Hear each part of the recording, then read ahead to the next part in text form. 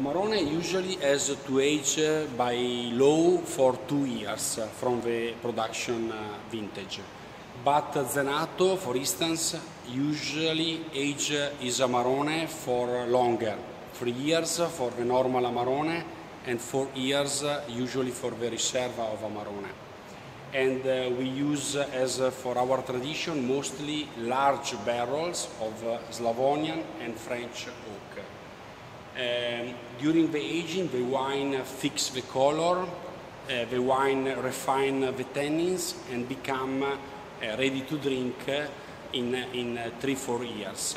This is our method of production and also the method of production of most of our Amarone family groups.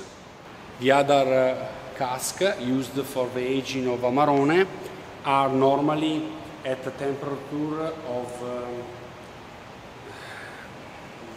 the, the, the room is temperature controlled, so the cask are also at the right temperature of aging.